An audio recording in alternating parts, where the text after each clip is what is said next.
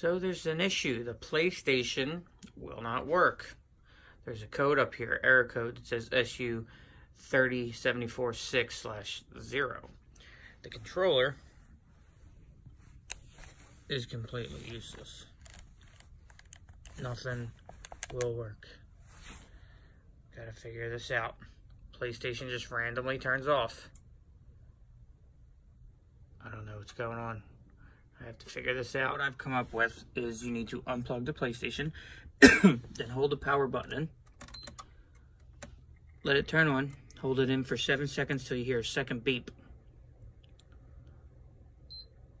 Let it go, plug in USB cable to DualShock 4.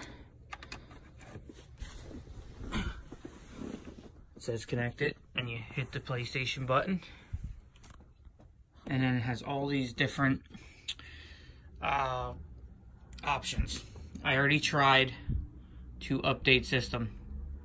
So I heard initialize PS4, reinstall stuff so, software. I heard that's what works. So let's see.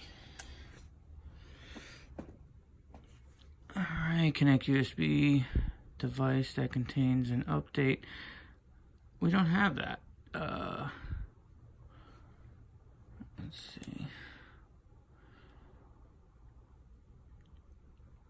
Hopefully it'll just go back to the last bit of um, software.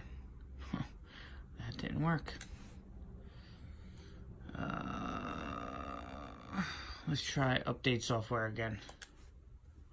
Update from the internet because that's what I have.